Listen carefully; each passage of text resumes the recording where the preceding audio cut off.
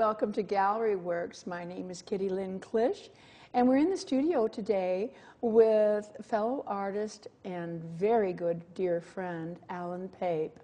Um, Alan has a really interesting history, and he's going to share that with us today and his artwork. So I'm glad you could join us.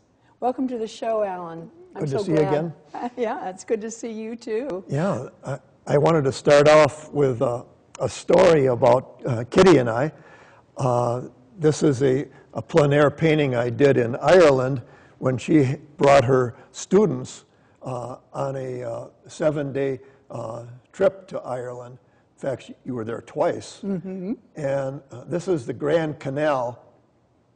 And your class was uh, starting f- from the, uh, the bridge on down the side of the canal, and I decided to set up down here and, and paint to the east, and you were up there painting to the west because there were other buildings and, Yeah. and uh, boats there. And uh, suddenly, uh, we heard, I heard this ruckus and a, a bit of screaming. and I looked up there, and there was one of her students was in the middle of the canal.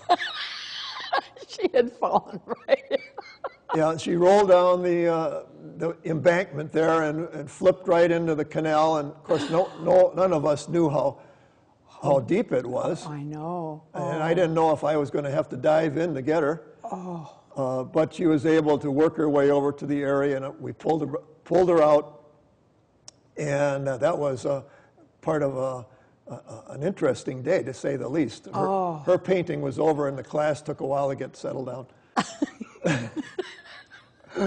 That was That's oh. the joys of plein air painting. Oh yes, yes, it definitely is. Yeah, that was I, I and I remember um, that uh, particular day because I had walked down and was standing by you, and because you were quite a ways away from me, and I had walked down and I had looked at your painting, and the fir- uh, the, the the first impression I had was of surprise, and I, maybe I shouldn't tell you this, but I was surprised how well you were doing. It was just beautiful what you were doing, and I loved it. And you were right on target, you know. And then we had all that other exciting stuff go on. So yeah, that was those were those were two very wonderful trips. They really were. And if it hadn't been for your expertise, we wouldn't have known how to get around Ireland and, and all the places and everything because you'd been such a frequent visitor there. So it worked out really well. Well, it, it was a, a great uh, time. It, it was probably the best group we ever had Oh, yeah. on this program. We're getting a little ahead of the, the story, but Okay. uh, this is a painting that I did uh, uh, after I had taken one of uh, a year of Kitty's classes, and it's basically an architectural uh, view of uh, the place where I was working in Milwaukee at the time, and uh, it's called the County Clare. It's a, uh, a reconstruction, basically, of a, uh, a Dublin uh, boutique hotel in Milwaukee, Wisconsin. So it has an Irish theme through and through. And part of my job while I was working there for six years was to promote all the Irish hotels that these investors owned. And uh, I ran the tours to Ireland to get to one of the uh, places. We'll, I'll show you a picture of that where you, you stayed. Uh, but before uh, we get into the story too long, I just wanted to mention how important uh, Kitty's classes were to me getting started in painting. I, I knew I wanted to paint for a long, long time, and I was an art student uh, in Milwaukee at UWM back in the 60s. And I wanted to do representational painting. And, but at the time, everything was modern, modern, modern. Abstract. And I didn't get any uh, encouragement uh, to do this sort of thing. I loved uh, museums and museum dioramas. And I thought maybe someday I'd be a museum person and creating uh, these interesting art exhibits in, in museums. But I had no encouragement from the professors, so I switched my major to go into landscape architecture because I knew I had interest in art, but I also liked plants. uh, and trees and shrubs. And I, so I got my degree in Madison at, at, in the landscape architectural department. And uh, I specialized in a, a, small area called historic preservation. Mm-hmm. And over the years, I've restored a lot of buildings, written a lot of reports, got into uh, creating museums, moving buildings, and uh, it, it, worked out pretty good. And uh, I retired from all of this six years ago, and I've been doing a lot of painting since then. So uh, this was a painting I did just to show the County Clare where I worked uh, in my uh, uh, in my the end of my career. One day we had a staff meeting, and the staff announced uh, we're planning to beautify the front desk area in the hotel. And I said, Oh, I'd like to volunteer and make a painting for the back wall in the front desk.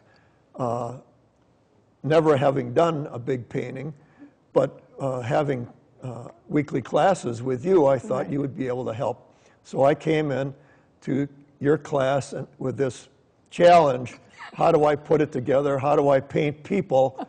and how do I paint a dog and, and buildings and, and a thatched roof? And so this was a, a class project that you helped me with. Mm-hmm.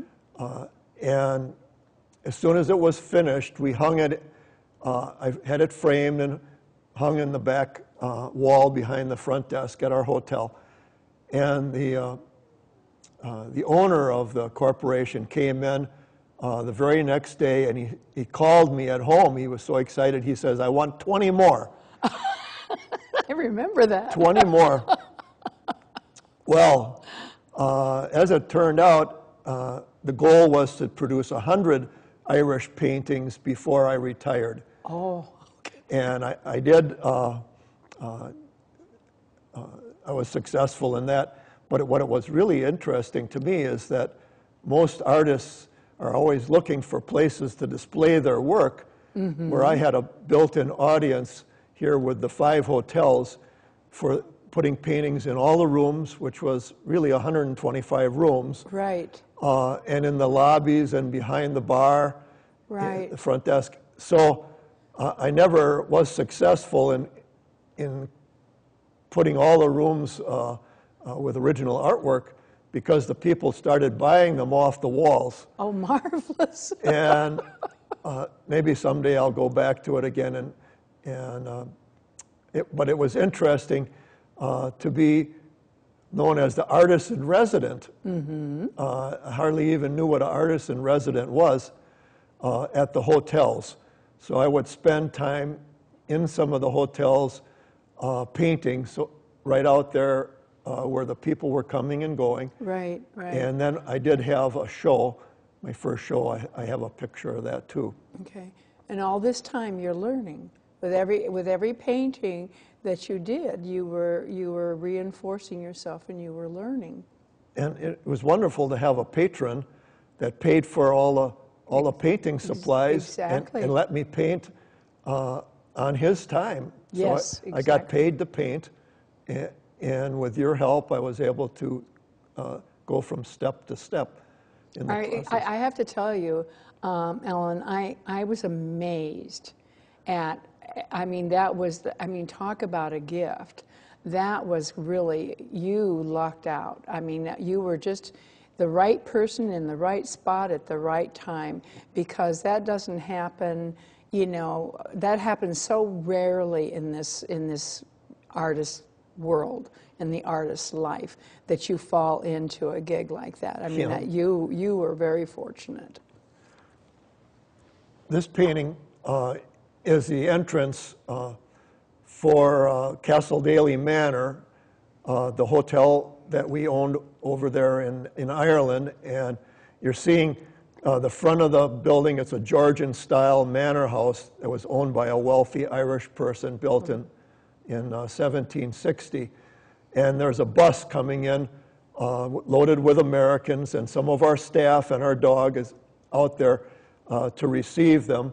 Boy, do I remember that. Oh. Yeah. When the first time I pulled up there, my heart was thumping so hard. I just was so excited. yeah, that your students uh, very much enjoyed. Uh, what room were you in uh, that time? Um, I can't remember the, the, the number of the room. All I remember, it was quite elegant, Okay. and I was very happy with it. Okay. During the, uh, the time that uh, the uh, tours, uh, the visitors were there on the tour, we would stop at Colleen's Pub. And this is a picture of, uh, of the Americans walking across the street to Colleen's. And uh, we'd go there, uh, I think on Sunday afternoon before we went to Clonmacnoise on the Shannon River. And Colleen's is one of those pubs uh, where there's a grocery store combined with a pub. Right, right. And uh, they're known for their Irish coffee with a, the whiskey and the fresh cream on the top. Yeah, right. And it's just a wonderful environment. And we would have sing, uh, do, do singing in there and uh, get into the spirit of what pubs are like. yeah. So it's inter- uh, interesting. The uh, that painting was sold uh, the, the first day of my first show, and a, a man came in to uh, the hotel where I was showing these pictures, and he started out by by buying that one. Uh-huh. Uh, that was, uh, I think it was $850.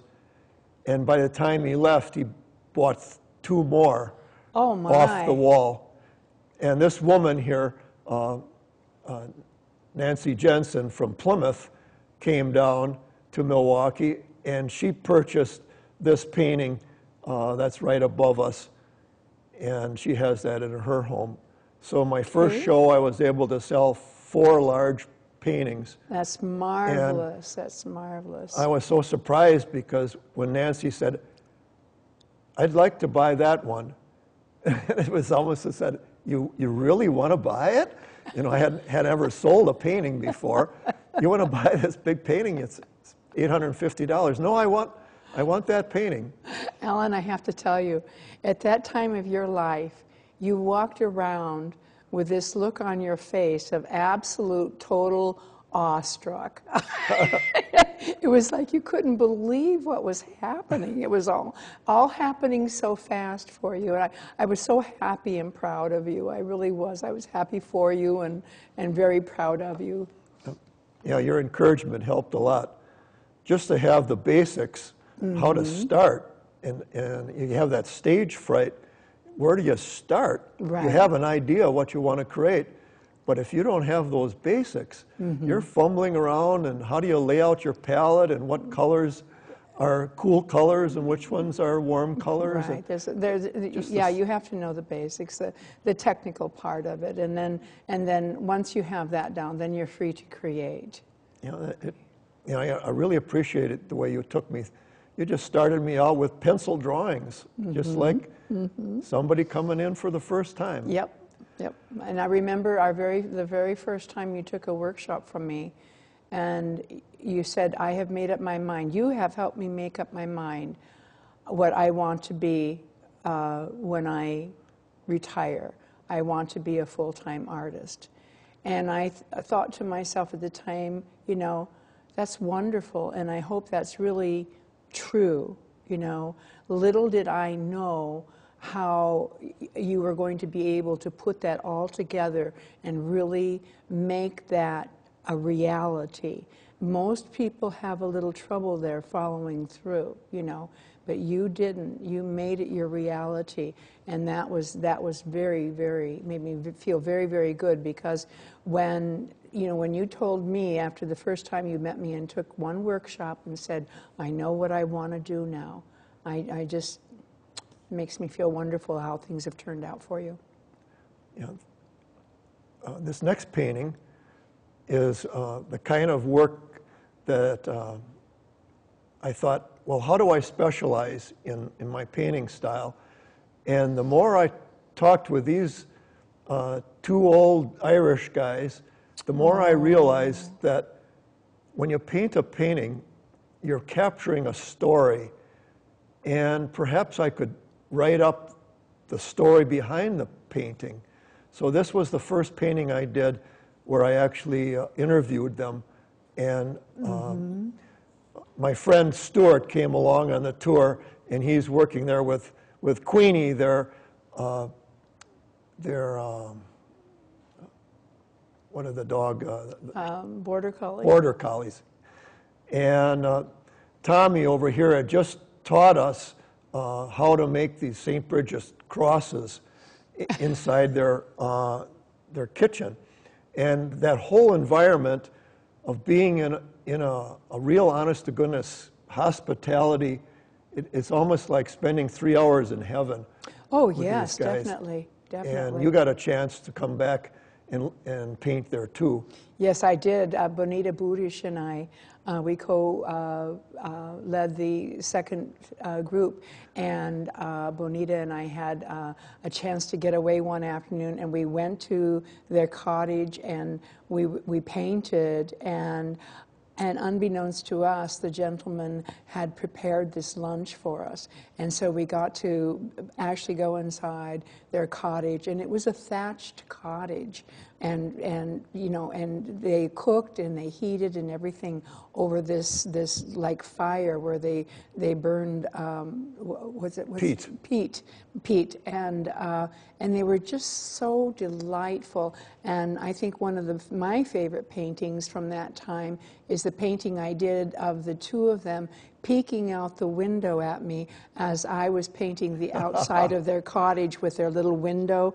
They had a window and they had some flowers in it, and the cottage was all whitewashed white, and the two of them were peeking out of the lace curtain at me. And that's one of my favorite memories of it. I would never sell that painting. they were they were marvelous gentlemen, and Bonita and I just we looked at each other like, and it, it was wonderful. It was what a day, what a day.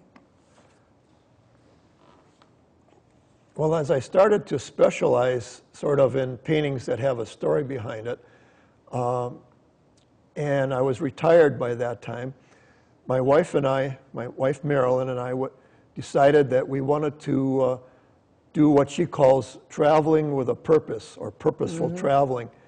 And we bought a, uh, a van and equipped it for camping, and we started going around to all the national parks. And she would sit uh, on the side and I would paint. And we did that for, uh, well, we're still doing it. Uh, next year, we're going on a big trip to uh, Nova Scotia and Maine, and we'll be painting Oh, there. wow. And uh, three weeks ago, I wa- we were in Italy, and, and I uh, painted four paintings. And she would sit there and watch me paint, and she would read. But this is uh, this became quite a, a neat way of of seeing uh, these national parks. Well, because you were because you would do the painting, and uh, and in in in place of paying. Is that is that how you? Uh, quite often, uh, I tried to get to be artist in resident at the Rocky Mountain National Park. Uh, and uh, I started to, uh, you know, I, I, I didn't make it. So I tried with other national parks and state parks, and they were more open. right. And Zion National Park actually wanted me to be uh, there for their 100th anniversary and bring 24 paintings of Zion Oh my. for a show. Yeah. Well, that was a huge commitment. Yeah. As it turned out, uh, I wasn't able to do that. But here's an example. I was the first artist in resident for the Florida Park System, and, and this is one of the paintings that I did uh, for them. Oh, okay. And this was a, uh, Oh, that's beautiful. a picture of a, a CCC project that was done uh, back in the 1930s. Right. and uh, they wanted me to paint. Uh, they were one of the many par- national and state parks that had the CCC uh, workers uh, work relief back in the in the late 30s and early 40s. That's So beautiful. that was taken fr- done from an old photograph. Uh, and then I decided to do an artisan residency for a historical society that had a saloon. Okay. So uh, this is a, a picture, a, a, a painting I did of an, an old picture that was in this saloon. And I was there for a week and, and did this painting. And you, you can uh, actually see there's some old chairs, those are real chairs, standing in front of the, of the painting. And there's the, uh, the, the pool table there on the right. And it, it harkened back to my original idea uh, back in the 60s of doing a museum exhibit where you have real artifacts in front and it sort of drifts back into a painting for a backdrop. Sure. And that was a lot of fun. I guess so, Uh, yes. This, this is one I did in, for a museum in Arizona. I was artist in resident there for a month, and I did 13 paintings for them the first year and uh, six paintings the last year. And here is a, a bird's eye view of, of an old ranch in Arizona, uh, which uh, half of the ranch became Fountain Hills, Arizona, uh, a, um, a Newtown development, and the rest of the ranch became Fort McDowell uh, County Park. Oh, But- that's beautiful. This That's is a really quite a large beautiful. painting. How, how, wh- when you say quite a large, now what do you mean by that? Well, it's, uh, it's three feet by four feet. Yeah, that is a good size, right. But it was done from, from old photographs done uh, uh, on the land, and then I imagined what it would look like from a bird's eye view. Sure, you sure. And here is a mural uh, that was done for the Plymouth Historical Society. That's, it's uh, eight foot high and uh, 16 feet long. And it shows the, the city of Plymouth in 1867. Now, is, is Plymouth where you're from originally? Yes. Okay. Well, I've lived here for, since 1983. Uh, But I wanted to show the overview of the town uh, when it was really in its heyday, when things were booming and uh, the, uh, the railroad was coming through and- and they, they still had a stage line and uh, a lot of the original uh, businesses were there on the river. So this was another kind of a dream come true, uh, thinking, you know, 40 years ago, could, could I do murals? And it was a, lo- a lot of fun to produce that. Now, and what was the size of the mural? Do you remember? Yeah, it was uh, eight feet by 16 feet. Oh my, okay. That, yeah, that's right. I remember you stopping by and, and telling me um, that you were working on a mural. And I never did get down to see that. I was sorry about that. It's, yeah. it's part of a kind of a Streets in Old Plymouth uh, group of, of exhibits. Sure. And they talk about the plank road that came through town. Yeah. Now, here is uh, a museum, a plein air painting I did uh, two years ago at Old World, Wisconsin. I worked there for uh, 13 years helping to build this large outdoor museum. We moved in buildings from all over the state of Wisconsin. And I got to thinking, in retirement, it would be neat to be artist in resident out there. Oh, sure. Because in, in the old days, there was this itinerant artist type of person that came through these villages and they would do sign painting and uh, painting on windows and graining of furniture and graining of woodwork and also uh, uh, paintings for people. They were on the, the go with their uh, horse and buggy and so I, I got into costume, a period costume, and I was there for five days and I produced four paintings, and this was one of them. It's marvelous. So yeah. th- that was really interesting. And then one of my friends from high school, uh, also a fan of Old World, Wisconsin, uh, said that he, he and his wife wanted to develop their own little museum and live in it. And I ended up actually selling him a building, this German half timber uh, that I had stockpiled to save.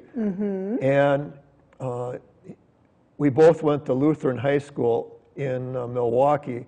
So I was very interested in German Lutheran, Pomeranian uh, Lutheran traditions and the architecture that was built in those days by these German Lutherans. And I said, hey, Rod, this building would be perfect for you because it reflects your heritage. So they, they went to town and, and reconstructed it and also put a log building on the backside and took down three barns and used those parts. And uh, his wife Susie is a uh, uh, makes quilts, so she's pictured out there hanging one of her quilts out, and uh, Rod is out there working with his logs. And I gave them this, this as a present for uh, going through with this vision. Okay, now, um, we are just about out of time. I don't know where the Okay. time has gone, um, but uh, in the few minutes that we have left, I, I would like you to uh, briefly address this, and then I'd like to briefly address what um, your vision is that you have coming up. And if you wanted to show the last, uh, or, the- yeah, that's fine. Here, I'll just take these down. Uh, This is a uh, work in progress. In Colorado, I've had uh, three years of artist in residency on the backside of Rocky Mountain National Park. And this is a painting I did last summer for a family that I interviewed. And uh, basically, uh, I'm fascinated with why buil- people build log buildings. And this is the story behind why their parents built these log buildings uh, in the West. So you have essentially taken, taken a painting and, and made a story, and you're making a story and with diagrams And- and, uh, and photographs. and photographs and everything in it. Right. That is really, that's very, very interesting. So I, I, I want to do a collection of these uh, and donate them to the Historical Society. I think there. that's a marvelous idea. And just quickly now, we only have a couple minutes left. Just quickly, what do you have planned for June? Okay, uh, I got this idea while I was out in Arizona of, of uh, gathering 10 artists together in a kind of a captured audience for, 10, for four days. And each day we would produce one painting. So totaled up, 10 artists doing four paintings each equals 40 paintings. So 40 paintings in 40 days. Mm-hmm. And I, I have decided to go ahead on this, and I've got uh, most of the artists uh, interested in doing it, and uh, we'll see where it goes. But uh, they'll be painted on window shades, of all things, and the title is uh, Sh- Earth Shades 40 Paintings in 40 Days, and they'll be rolled up and used in different venues art centers, churches, and schools. will be able to be a traveling exhibit. I think that's a fantastic idea, and I also am very, very honored that you have asked me to be one of the artists. Um, I, I'm very honored to be a part of that, and I, I thank you so much for being on the show today. I don't know where the time went; it really flew. Um, I guess it's because you just have you've done so much. I mean, you're so you you from that first time I saw you till now, you've just grown so so much as an artist and, and in your experiences, and I appreciate you sharing them with us today so much. Well, thank you. You've been my inspiration. Thank you, thank you. And once again, this is Kitty Lynn Klish for Gallery Works. Don't don't miss the next show. Um, it'll be another great one. Thank you. Bye bye for now.